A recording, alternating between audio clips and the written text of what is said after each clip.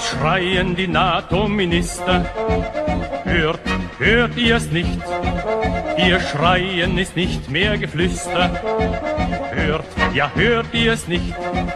Sie schreien nach Profit ihrer Kriegsindustrie und rüsten zum Kreuzzug erneut wie noch nie. Ihr Heer steht bereit für die Aggression gegen dich und die Sowjetunion.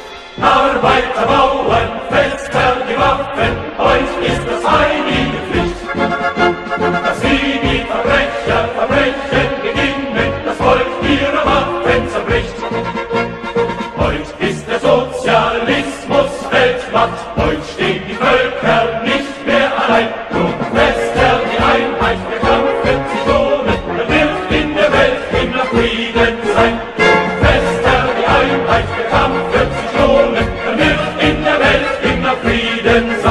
Es schreien die US-Strategen.